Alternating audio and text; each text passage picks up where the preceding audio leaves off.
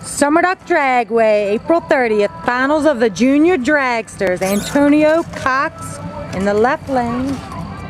Dialed to 790 versus Rachel. And the right dialed to 792.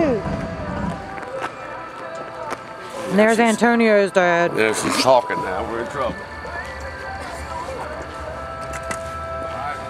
And there's Natalie and Michael over there watching.